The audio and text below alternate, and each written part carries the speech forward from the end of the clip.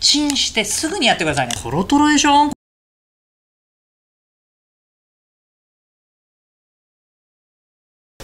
いどうも料理のさんりゅうです。はいということでですね。聞き取れましたか今ね。僕もね結構ねいい感じになってきました。あの大人の事情でね。あーこちらのテーブルマークさんの讃岐うどんねこれを使ってですね。絶品の締めに最適。ペペ玉。冷凍うどんで作るペペ玉ですねちゃめちゃ簡単に作ることができるんですよ作っていきたいと思いますリュウジのバズレシピはい、それではですね、やっていきたいと思います。まずですね、えっ、と、材料説明。テーブルマークさんの讃岐うどん。5食入りのが1玉使います。はい。卵1個。で、オリーブオイルが大さじ1。白だしが大さじ1半。ニンニクが1かけ。5g ぐらい。鷹の爪が1本分。こんだけです。簡単。えっと、締めの、えうどんを美味しく食べるために大人の事情を飲んでいきます。あー、あーこれから食うあったかいうどんはうまいだろうな。自らを高めていきます。この丼1個で作れます。丼1個で作る利点っていうのは洗い物が少ないってことですね。丼で完結します。にんにくはい。オリーブオイル。あ白だしですね。入れます。鷹の爪ですね。はい。これ入れますここでテーブルマークのサルキュードレンジでチンでめちゃめちゃ美味しくなるんですこれ。同じような味だったら楽な方がいいですよ皆さんね。はい。はい。こんな感じ。これ本当にお前大丈夫かみたいな絵面なんですけどもこの状態でいいんです、はい、こんな感じです600ワットを6分。結構ね加熱します。この6分の間にね卵割っておきます。はい。L サイズ卵ですこれ。よーく溶いておきます。電子レンジかけたらすぐやってくださいね。なぜかというとですね常温にしておいた方がトロトロの半熟卵になるからです。電子レンジかけてる間に、え必ずやってあげてください。白身がね全部混ざり合った状態になればあこんな感じですね。できましたのでちょっとねこれね熱いと思います。これね熱くなってます。ねはいこの熱々のところに熱々のところにこれでですね混ぜちゃうんですねこれね。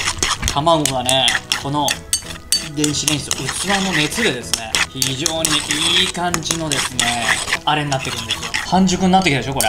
余熱で熱があの卵に入ってるからなんですね。でこれね冷たい卵をそのまま割り入れてしまうとですねこのトロトロ感がなくなってしまうんですね。なのでですね皆さんね熱いうちにチンしてすぐにやってくださいねこれね。でこんな感じです。トロトロでしょこれ。これがね、電子レンジでチンして混ぜるだけでできるっていうのは非常にですね、いいことなんですね、これね。卵がね、非常にいい感じで固まってるの皆さん分かりますかね、これね。パセリかけるとね、非常にね、見栄えが良くなりますんでね。冷凍ドッグレンジで作るペペ玉の完成です。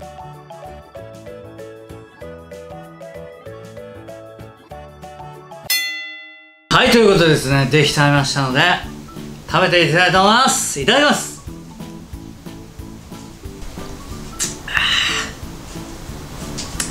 あ、すいません、大人の事情がなくなりましたので、次出していきたいと思います。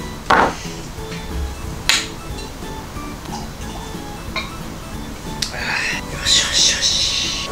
では、いただきます。いただきます。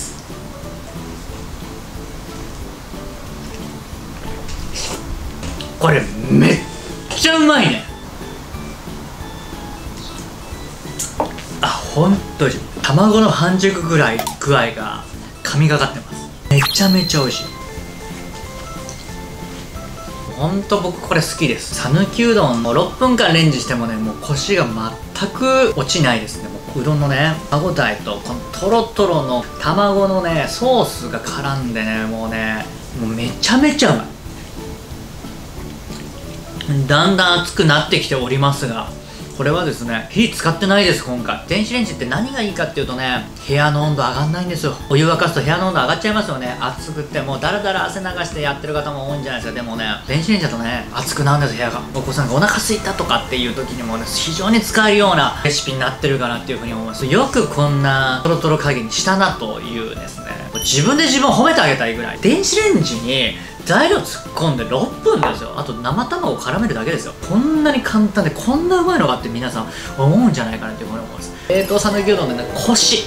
やっぱね麺類ねコシが命なんでね。強いコシ。これをですね卵ソースとね絡めてごらんなさいな。大人の事情もねガンガンいける。うん。お好みでねなんかねホットソースとかのレモン汁とかでも全然いいんですけどもあのちょっと酸味のあるものをかけていただいて味変するのも非常にいいと思います。冷凍うどんとレンジで作るペペ玉。ぜひ皆さん作ってちょんまげはいそれではですね今回のお料理どうでしたでしょうか？めちゃめちゃ美味しそうだなっていうふうに思っていただいた方やってみたいなって思っていただいた方ぜひぜひチャンネル登録高評価よろしくお願いいたします。